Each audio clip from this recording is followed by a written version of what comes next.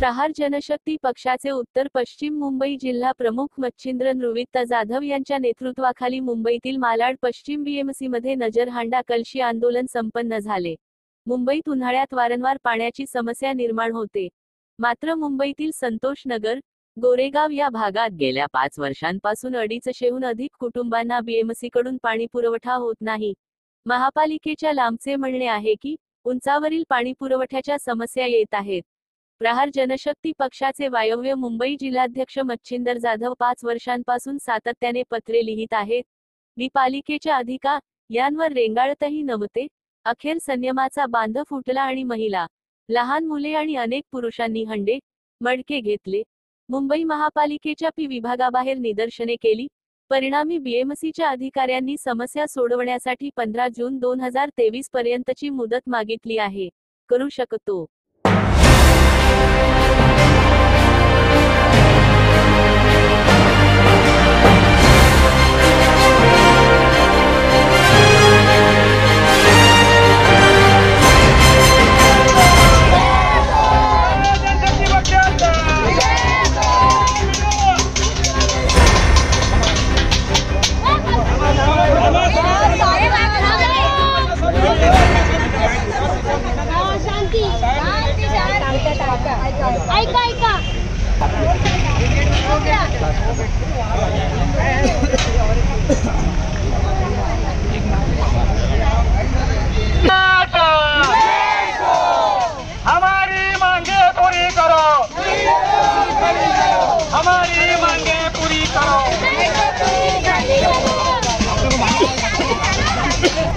आंदोलनाची दखल महानगरपालिकेच्या कर्मचारी घेतलेली आहे. आणि आपल्या आंदोलनावरती पुढील पंधरा दिवसात म्हणजे पंधरा तारखेपर्यंत आपल्या विभागातील पाण्याचा प्रश्न सोडवण्याचं आपल्याला लेखी आश्वासन देण्यात आलेलं आहे.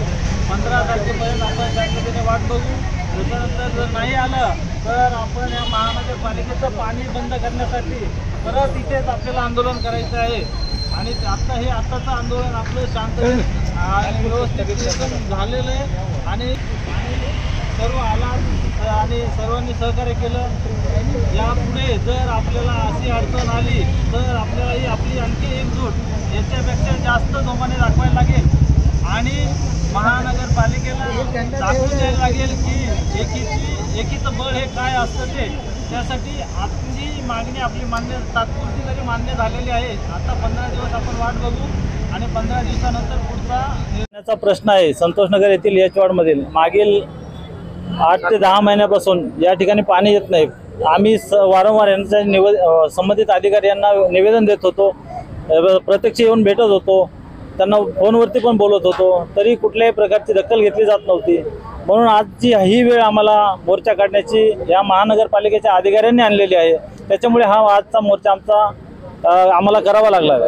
तुम्हाला काय आश्वासन दिलं? आज आम्हाला आणखी महानगरपालिका संबंधित अधिकाऱ्यांनी असं लेखी आश्वासन दिलं आहे की आम्ही पुढील पंधरा दिवसामध्ये म्हणजे पंधरा तारखेपर्यंत पंधरा सहा दोन हजार तेवीस पर्यंत तुमचा पाण्याचा प्रश्न आम्ही कायमस्वरूपी पूर्ण करू.